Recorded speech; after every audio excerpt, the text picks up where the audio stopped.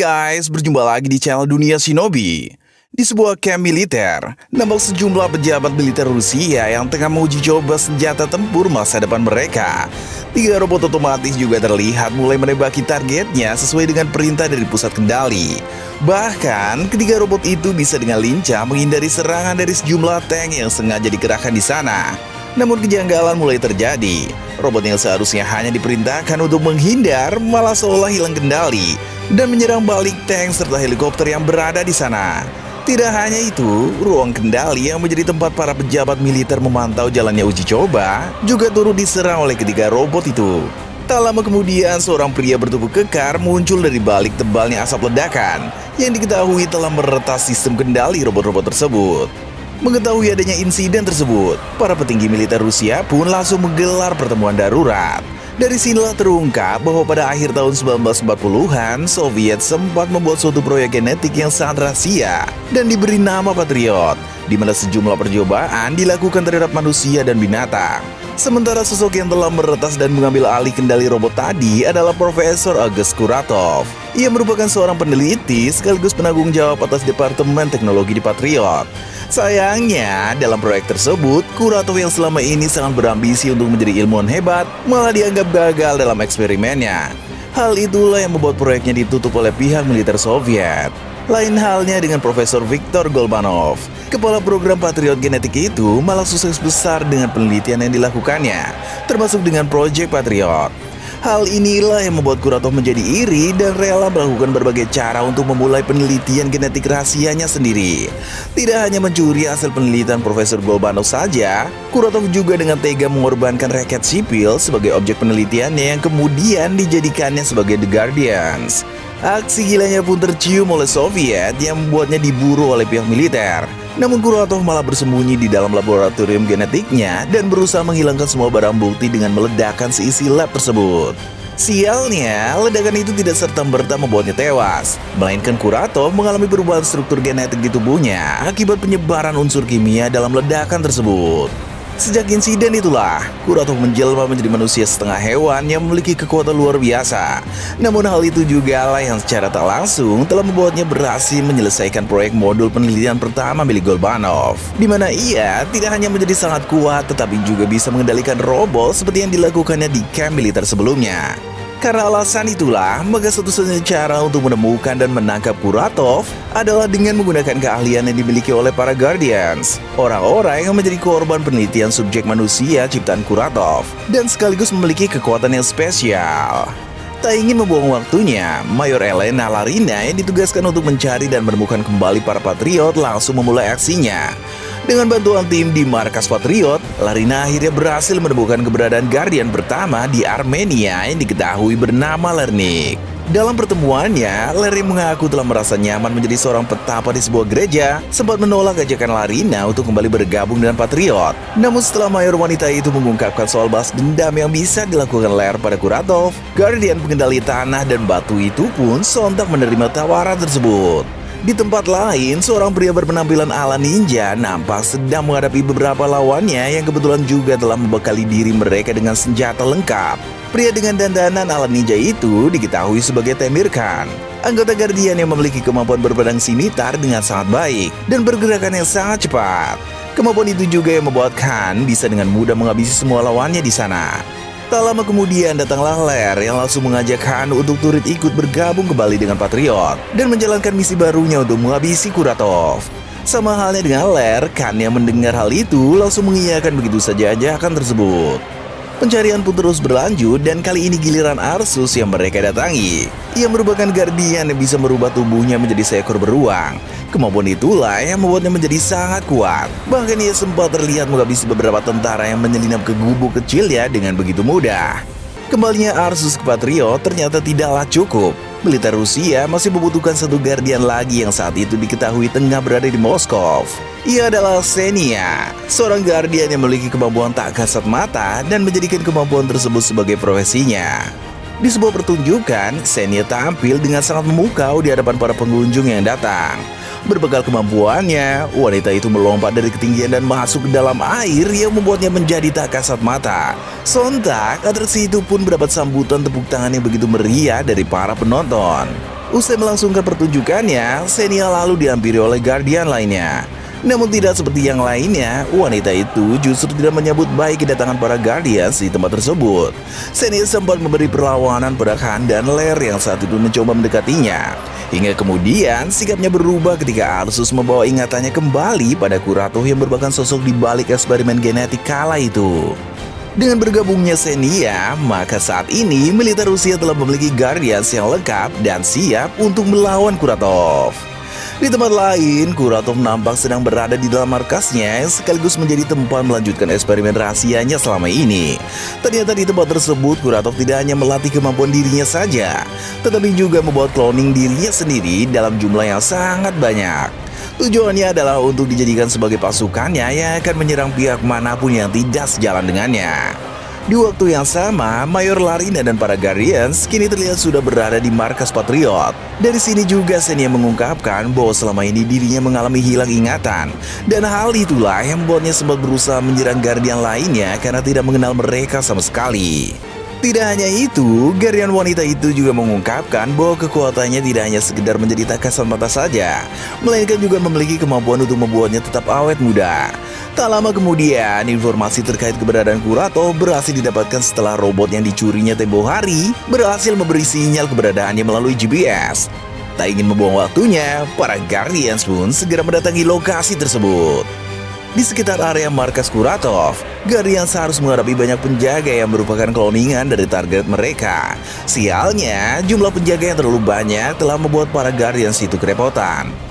Alhasil, Senia, Arsus, dan Khan bisa ditangkap oleh para penjaga. Lain halnya dengan Ler, yang sempat berhasil menumbangkan satu demi satu per penjaga malah harus menghadapi langsung Kuratov dalam duel satu lawan satu. Nah, sebagai Ler yang telah mengerahkan seluruh kemampuannya masih belum sanggup melawan sendiri Kuratov yang sejatinya merupakan manusia setengah cyborg dengan kekuatan yang luar biasa. Alhasil, Guardian itu pun terkapar tak berdaya setelah Kuratov berhasil mematahkan tulang belakangnya. Di dalam markas, Kuratov yang telah mengurung para Guardians sempat menawari mereka untuk bergabung dengannya. Namun hal itu jelas sangat bertentangan dengan para Guardians itu sendiri yang langsung menolak mentah-mentah ajakan tersebut. Mendengar jawaban tersebut, Kuratov lalu memberi kesempatan kepada mereka untuk memikirkan tawarannya itu dalam waktu 24 jam. Tak lama kemudian, Kuratov lalu mengerahkan semua pasukannya untuk menginvasi kota Moskow. Dan aksi ini juga telah membuat kota tersebut menjadi porak-poranda. Bahkan berita di TV mengatakan bahwa saat ini pihak militer Rusia pun masih belum sanggup untuk menghentikan aksi mereka. Tak tanggung-tanggung, yang Kuratov tuju saat ini adalah Ostankino Tower dan Federation Tower, yang sekaligus juga menjadi proyek modulnya yang kedua. Hal tersebut ditujukan untuk mengirimkan sinyal melalui satelit Soviet lama yang kemudian akan dilanjutkan pada satelit lainnya yang mengorbit di bumi, agar nantinya ia bisa menguasai semua teknologi yang ada di seluruh dunia. Dalam menjalankan aksinya, Kuratov ternyata tidak bergerak sendirian karena ternyata ia selama ini telah dibantu oleh Mayor Jenderal Nikolai Dolgov. Hal itu terlihat dari kedatangan pejabat militer Rusia itu yang mendatangi lokasi tower. Namun nahas bagi Dolgov yang berharap akan mendapatkan imbalan karena telah mendatangkan Guardian pada Kuratov malah harus menemui ajalnya setelah manusia cyborg itu mencekiknya hingga membuatnya tewas saat itu juga.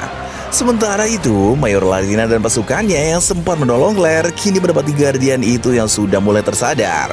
Serangan Kurato pada tulang belakangnya ternyata telah mengembalikan ingatan Ler kembali, yang ternyata ia selama ini juga memiliki kemampuan yang sama seperti halnya Senia, di mana tubuhnya tidak akan menjadi tua. Hal itu juga yang telah membawanya pada kesedihan mendalam ketika mengingat kembali kenangan semasa bersama istri dan anak-anaknya, yang kala itu mulai menua hingga tiada. Tak lama berselang, Larina kedatangan seorang pria tua yang diketahui sebagai Profesor Golbanov. Ia yang selama ini dikabarkan telah tewas, ternyata masih hidup. Bahkan ia sempat membeberkan sejumlah fakta mengenai markas Kuratov, termasuk lokasi keberadaan Senia dan yang lainnya dikurung. Tidak hanya itu, Golmanov yang mengetahui secara pasti tentang eksperimen dalam proyek Patriot juga akhirnya berhasil menyembuhkan Ler dari sakitnya. Bersama dengan Golbanov, Mayor Larina dan anak buahnya pun akhirnya berhasil menyelamatkan para Guardians dari markas Kuratov. Senia, Arsus, dan Khan kini memulai kembali misi mereka untuk menghadapi Kuratov. Sementara Golbanov lebih memilih untuk tetap tinggal di tempat itu dengan alasan bahwa dirinya ingin mengetahui lebih jauh tentang eksperimen yang telah dilakukan Kuratov. Namun malang baginya, karena tepat saat Golbanov sedang berada di ruang laboratorium, tiba-tiba saja datang Kuratov yang langsung menghabisinya. Usai menghabisi Golbanov, Kuratov lalu kembali dengan rencananya dan kali ini Ostankino Tower yang sempat diboyong oleh pasukannya telah tersusun tepat di atas gedung federasi kota Moskow. Hal itu dilakukan Kuratov semata hanya untuk membuat sebuah antena raksasa yang sanggup memancarkan sinyal ke semua satelit yang mengorbit di bumi. Aksi itu juga yang nampaknya telah membuat salah satu stasiun luar angkasa, Hammer, kini mengerahkan tembakannya ke bumi. Menyadari Kuratov bukanlah lawan yang sebanding dengan kemampuan para Guardians, militer Rusia pun akhirnya membuat kostum khusus yang akan dikenakan oleh para Guardians. Dengan kostum tersebut, para Guardians diakini dapat meningkatkan kemampuan supernya masing-masing. Latihan untuk menyesuaikan diri dengan kostum masing-masing pun dilakukan. Arsus kini mendapat proteksi lebih karena kostumnya telah terhubung dengan senjata yang akan menembak setiap ancaman yang datang padanya. Khan memperoleh kostum dengan pertahanan yang lebih kuat termasuk dengan bekal senjata yang lebih lengkap. Lair mendapatkan kostum yang membuat kekuatannya tidak dapat dinetralisir, serta sebuah tali lasso elektromagnetik dengan daya hancur besar. Sedangkan Senia yang sebelumnya hanya bisa menghilang jika terkena air, maka berkat kostum barunya lah ia kini bisa menjadi tak kasat mata kapan pun diinginkan. Setelah cukup dengan semua persiapannya, para Guardians kini memulai aksi mereka. Arsus, Senia, dan Ler menghabisi pasukan Kuratov yang ada di jalanan kota Moskow. Tak butuh waktu lama bagi ketiganya untuk bisa menumbangkan semua pasukan Kuratov yang ada di sana. Ketiganya pun lalu menaiki salah satu gedung yang nantinya akan menjadi akses bagi mereka untuk menuju ke tower tempat Kuratov berada. Sementara kan, ia yang menumpang pada sebuah pesawat akhirnya bisa bergabung kembali dengan Guardian lainnya. Setelah ia berhasil menghalau serangan dari pasukan Kuratov yang ada di tower. Di dalam Ostankino Tower, Senia yang memiliki kemampuan untuk mengendalikan suhu tubuhnya, kini mencoba untuk menonaktifkan generator yang menjadi sumber kekuatan dari kubah pelindung yang ada di puncak tower. Meski awalnya ia cukup kerepotan, namun pada akhirnya Guardian wanita itu pun berhasil mengacaukan sistem generator. Dan alhasil, kubah pelindung pun menjadi tidak aktif. Tak ingin membuang waktunya, keempat Guardians itu pun lalu menuju ke puncak tower dan menghadapi Kuratov. Meski telah dibekali pakaian khusus dan melancarkan serangan secara bergantian, namun tampaknya itu semua tak berarti apa-apa bagi Kuratov yang saat ini sudah semakin kuat dari sebelumnya. Bahkan, nyawa para Guardian sempat terancam, hingga kemudian Khan yang melihat adanya pesawat yang melintas lalu berusaha membawa kabur Guardian lainnya dengan menggunakan tali seling yang dikaitkannya pada bodi pesawat. Seolah tak ingin menyerah begitu saja, keempat Guardians itu pun kemudian menyatukan kekuatan mereka dan mengarahkannya ke tower tempat Kurato berada.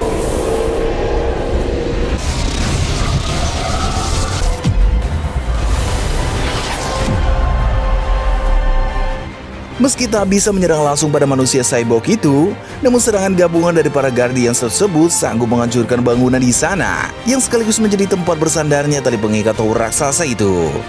Alhasil, Ostankino Tower pun roboh bersama dengan jatuhnya Kuratov dari tempat tersebut, yang juga membuat stasiun luar angkasa Hammer mengalihkan arah tembakannya dari bumi.